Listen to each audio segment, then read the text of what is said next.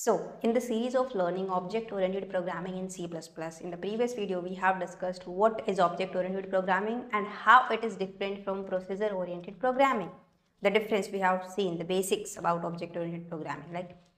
Now, in this video we will see OOPS concept, right? Before we deep down into the object-oriented programming in C++, you must have some idea about the concepts, the, you know, the things because of those things we call it as object oriented programming. What are those concepts? Like class objects abstraction encapsulation inheritance polymorphism.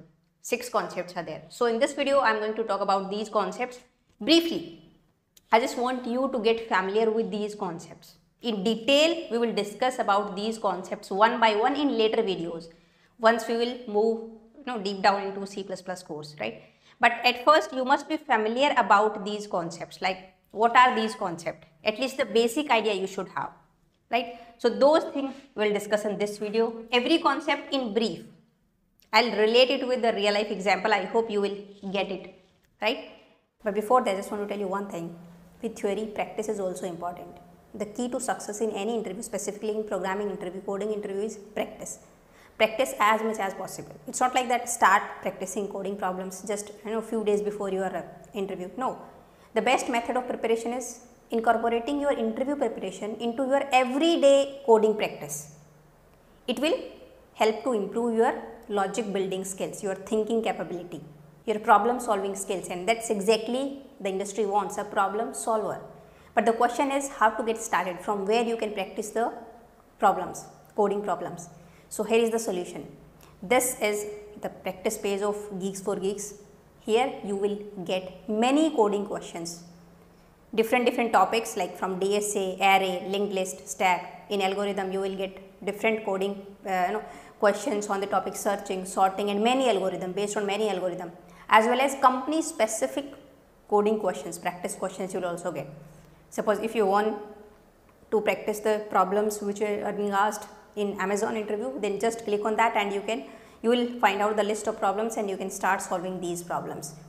And it is not good for students only but as well as for working professional. If you are working somewhere and you want to switch or applying for new position then also it will help you. Practicing these uh, problems will definitely help you. So, I think this is a great resource to practice these coding problems. Don't worry the link I will put in the description box of this video you can go and check out. Now, let us back to the topic. So what are OOPS concepts? Six concepts are there basically. These are six concepts in object oriented program. See as the name suggests object oriented. So obviously object is the main thing. Everything revolve about the around the object. So we'll see these concepts and these four are known as you can say pillars. Pillars of object oriented programming. But we'll discuss the, these six things, all these six concepts. So let me just take one example. See, Let's take one example like student. Maybe you will, you know, relate it better. Student. So, simply student in student in your class you have male as well as female student, right? Now, every student is having some common properties like two hands, two legs, two eyes, nose, height, weight, color. These are some common properties they have right? And some functions like sleep, can eat, can study or speak and uh, sit. Here these are some common functions, right? Every student is having either male or female. So, we can consider it like a student is a class which is what it is like you can say a user defined data type in technical terms if you say then it is a user defined data type as in C we have structures user defined data types which is having some data members and member functions. Now what are those data members?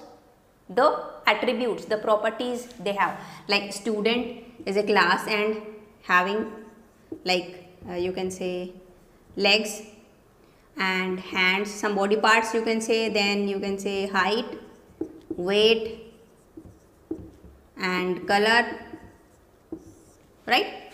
These are some properties. Or you can say attributes. Or you can say data. Or you can say data members. So whatever the data that would be considered as in the form of that would be stored in the form of variables in the class. Next functions what we can have like eat, sleep and uh, sit, speak and many more. So these are some common functions, right? So class is basically what a blueprint of an entity which defines the core properties and functions of that entity. Now entity means what? Entity is male and female you know students actual students are entities like student name can be Ram, uh, you can say Jenny, Rahul, Nisha. These are some students. So, male students, female students, right? So, these are and you can say real world entities and these are known as known as objects. Right? In my class, I have a student like Rahul. Rahul is an object, right? Of class, male class, right? two more classes are there you can say like male and female here we have male class and female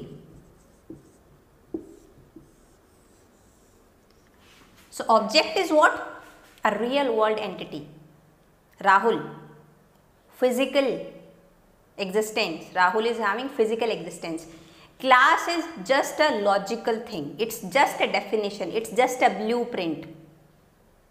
So, no memory allocation would be done when you define a class, no memory allocation. Because it is just a logical thing, it is not physical. Object is physical thing. Now, we can access these properties and functions of a class using objects of these class or you can say instance of the, this class, right. Like Rahul is what you can say an object of male class. So, whatever is there in male the attribute and the functions Rahul can access using Rahul we can access those properties and those functions. So, Rahul is physical thing Rahul is having some space right in this environment here in the class right. So, same when you create an object then only memory allocation would be done in the if I you know say in the form of programming. So, class is what? It is just a blueprint or a prototype through which we can create objects or you can say it is you can say group of objects which share common properties right common properties and common you can say attributes these are attributes this is you can say behavior or methods behavior or methods or functions we can say. Don't worry i have notes also. I'll provide you notes. Everything i have written in my notes handwritten notes right? You just have to understand now right? What is class and what is object. Now see object also I hope you got it right? It is a physical thing or it is a real world entity right? Which is having some behavior or some properties of its own behavior and properties fine that is object. So like suppose I have an object uh, one object is Ram, Rahul, Jenny, you can say Nisha and Payal. These are some objects, right? So, objects were just an instance of a class. Rahul and these are instance of male class. Jenny, Nisha, Payal, these are instance of female class. So, they, they are having their own data and functions or you can say the code, right? Each object is having its own data and the functions the functions which can manipulate that data. Each function has its own function and data. Like Ram is having its own, you can say height, weight, color, right? And on function is there, Ram is having its own functions. Rahul is also having different height, color and weight. Every object is having its own, you can say code and uh, data. Using code or the functions we can manipulate that data. Fine. And each objects can interact with each other with the help of message passing and for interacting they don't need to have the internal knowledge of their data and code. Suppose if I want to Rahul want to uh, communicate with Ram. So, it is not like that Rahul has to know the internal everything about Ram, right. What Rahul need to know? in which form the message would be accepted? Or you can say the language. Rahul understand Hindi or English. That's it. And in which language Rahul will respond? That's it. So same in programming. One object can interact with other object without knowing the internal detail the code or the uh, no the data of that object. What just need to know? The type of message would be accepted by other object and what type of output the what type of response that object will give right. So, that the objects can also communicate with each other using message passing. So, class is just a logical thing, it suggests a blueprint, a blueprint to create objects and objects are physical thing. Identify, uh, no, you can identify that entity, real world entity which is having its own you can say properties and behavior, right. Now, first thing we will discuss inheritance because through this diagram you can get it better. See, male and female. These students are also having like these properties and these functions. And female will also have female uh, you know, student will also have these properties and functions. And these properties and function we have already defined in a class student.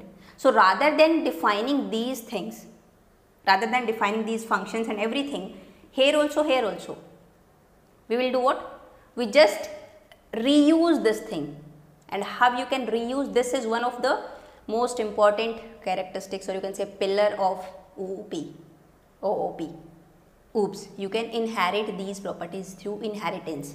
So, they will inherit these properties here also and here also. So, whatever is there these functions uh, you can say these functions and the attributes attributes means the variables and the functions right here also and here also and male and female each class can have their extra their own attributes. Like some body parts in female are having which male are not having. So they can have their own data their own function right? Male can also have their own function and data. And the common properties they can inherit from this class from this class rather than rewriting again and again. So this is what beauty of inheritance. They, these are known as child class and or you can say derived class and this is known as base class or parent class right. So, code reusability is there. So, that is why rather than writing same code again and again productivity would increase. We can reuse some other code and we can just do whatever we want, we want to do. One more thing in object I want to tell in technical terms we say objects are having its own data and code through which we can manipulate the data like Ram is having its own data and code means the functions this code right whatever we write here. So, if Ram suppose uh, I can say if Ram will eat more then weight would increase. So, through these functions we can modify these uh, data of that object. It is not like that if Rahul will eat more then weight of Ram would increase? No, because these details are specific to these objects. If Jenny will eat more, weight of Jenny will increase, not the weight of Nisha or Payal, right. So, this data and code are binded together in the these objects. Using that code we can manipulate the data of that object only, right. I hope you got class objects and inheritance. Now we will see what is abstraction. See, uh, let us take one example first. Suppose there is a coffee machine. What is there? One button is there, make coffee. You just press this button and your coffee is ready, right? If a machine, second machine is something like that, there we have a button like uh, add some cold water to the pan boil the water. Second button is boil the water. Third button is add 1 cup of coffee there, add sugar. This something like this. We have many buttons, the complete process we have, right. So, which one is better? Just the first machine having one button make coffee, you just press this button and coffee is ready. You do not need to go into the detail, the implementation part means the making part of that coffee, right so, means in first machine we are just hiding the detail, the process of making a coffee from the user. That is what abstraction.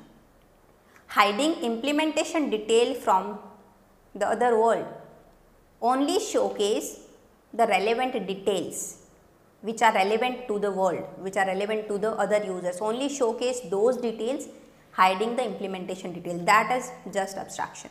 Like when you switch on your fan, you don't know what is happening behind there. You just switch on, you just press that, that button and your AC is on, your fan is on, your TV is on, like your DVD player. Once you switch on your, your you can say the TV and the DVD player or that uh, you can say what is that uh, set-top box, then on the screen the whole world is in your room, you can see everything, right. But behind the scene what is happening, how you are getting that data on your TV, on your you know set-top box through satellite or what is happening you do not know, right. So, that is what abstraction. Same hiding something into a function or in Java we can uh, you can we can achieve uh, this uh, abstraction with the help of uh, interfaces and abstract classes 100 percent in uh, abstraction we can achieve in Java right. So, hiding something into a function or you know an interface these kind of things that is called as abstraction. Because when you call a function sometimes you do not need to go into the detail of that function that how that process is doing. You just need an output. You call that function and you need the output that is it. Because see there are in large scale application there is a large code base. If you go in the detail of each and every function then it would take you even months to read out all the functions and you would never code right. So, rather than going into the implementation detail just showcase the relevant details only that is simple abstraction. Like in this you can take some other classes there animal or you can say alien. I hope spelling is correct. Maybe animals or aliens know that like student or male and female can walk, can uh, know, eat, can do these kind of things, but how? They don't know the implementation detail. So, that is simply abstraction. In programming also we can achieve abstraction, but how we will discuss later just I you know I just want to get you familiar with these terms basic terms. Next is encapsulation. As the name suggests encapsule capsule. Capsule means means uh, you have uh, seen a capsule medicine the tablet. There we have a wrapper in which we have some medicine right? There is a wrapper around that that thing right?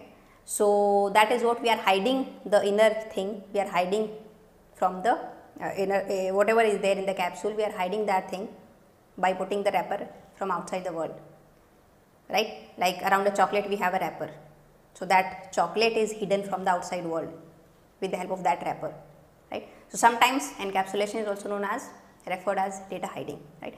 So wrapping up of these things data and the functions into a single unit that is known as encapsulation. Or you can say like something like this. You can take this example.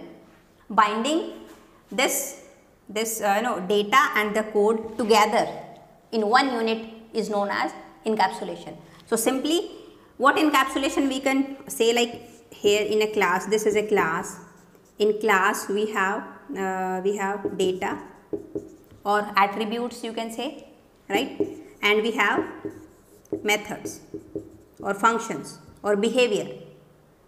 So, binding these data and these methods or the functions together this is known as encapsulation in C++ that is it this is encapsulation right.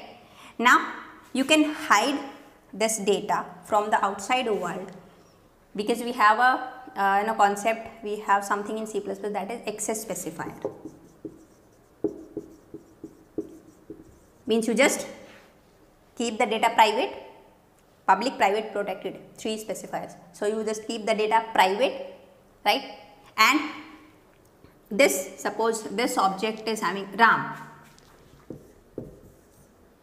This is the data for ram and these are methods these are the methods right for rahul also this is the data and these are methods so you can keep that data private only these functions these are public methods so only these functions these methods can, can what? Access this data. This object, another object cannot access this data or another class cannot access that data. Let's take uh, one example like uh, we have in college we have multiple departments CSC, mechanical, civil, EC, right. Suppose I am faculty in computer science department and I need one information, I need some data from mechanical department, right. So, it is not like that I can directly access the data from mechanical department, right. I will first talk to, I will reach out to a person in mechanical department, right, and I, I would request to that person to get me that data and after that through that person I can access the data, right, directly I cannot access. So, the data of mechanical department, the employees or the faculties of mechanical department completely they are a single unit known as mechanical department. So, they are wrapped up, they are encaps encapsulated. So, the data is private to mechanical department only the faculties or employees of that department can access that data. So, this will increase the privacy, the security of the data. That is why in the previous video I, I have told you the main reason we have switched from POP to OOP is data security and through encapsulation we can achieve that thing data security privacy by keeping the data private because we have access specifier concept here.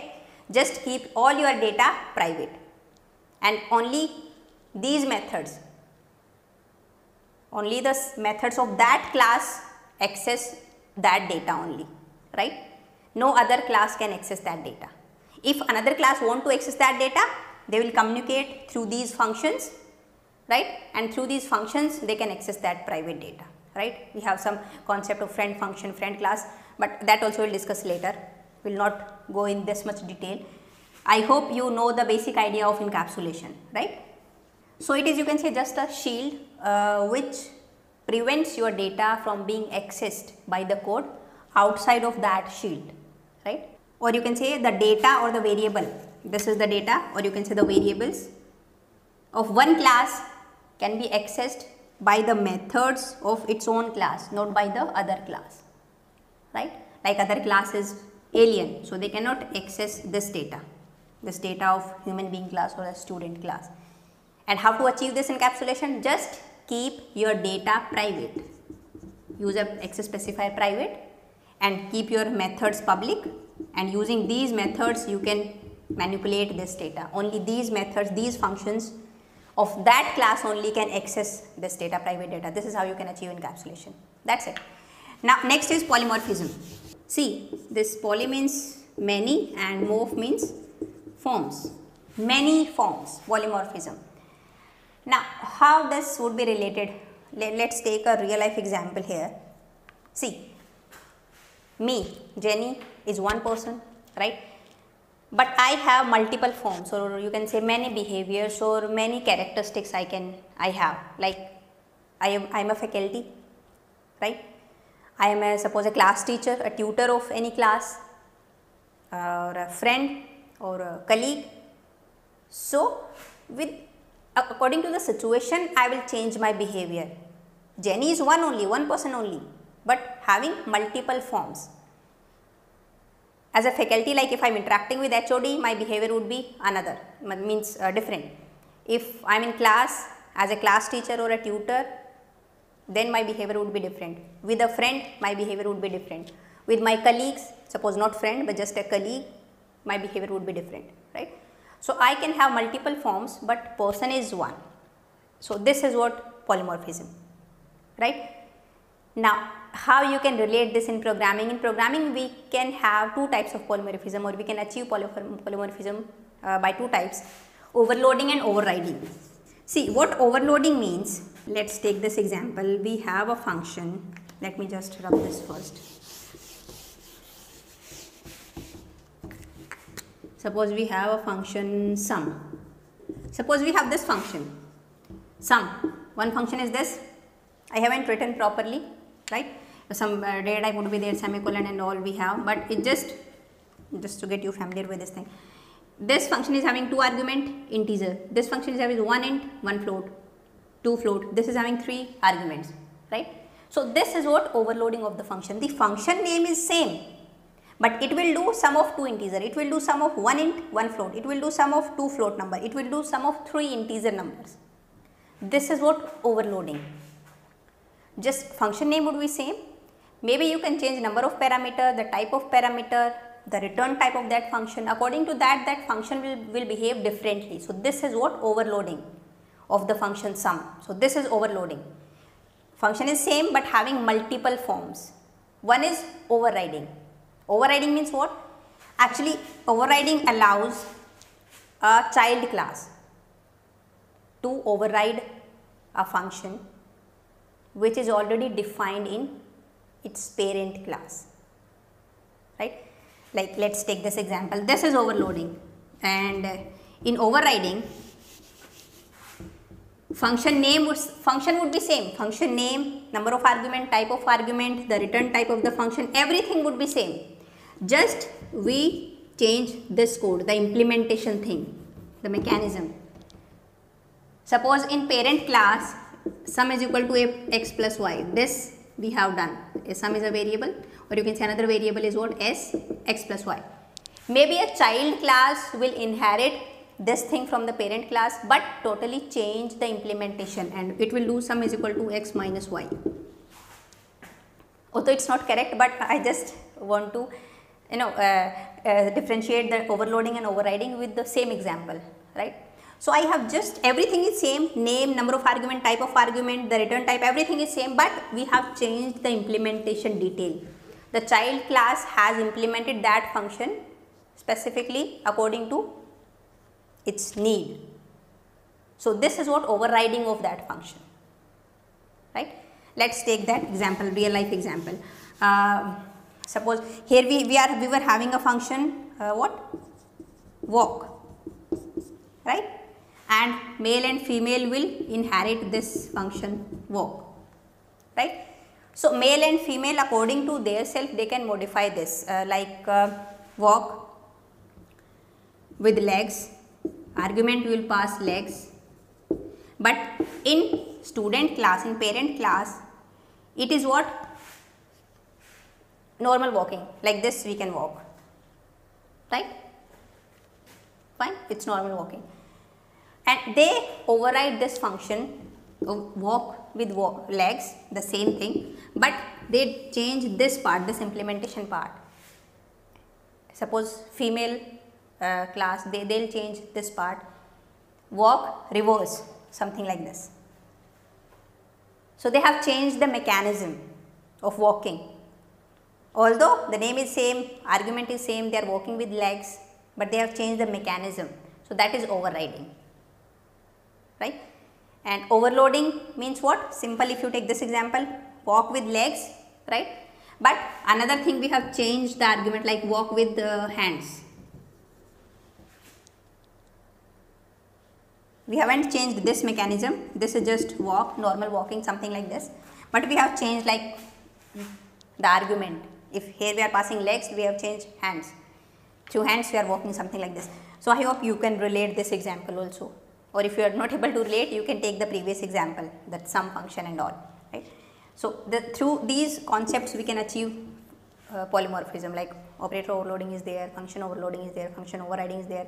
In detail we will see these things in the later videos and this is known as if we achieve polymorphism using overloading that is known as compile time polymorphism. This is known as runtime polymorphism. So, in detail we will discuss about these concepts one by one. I hope the basic idea about these concepts are clear to you the four pillars of uh, this object oriented programming as well as the you can say uh, six concepts of OOPS right. If you have any doubt you can tell me in comment box maybe in the next video we can revise that concept or we, I can take another example I can discuss that thing right. So, that is it for this video and the next video we will see introduction to C++. So, now I will see the next video till then bye bye take care.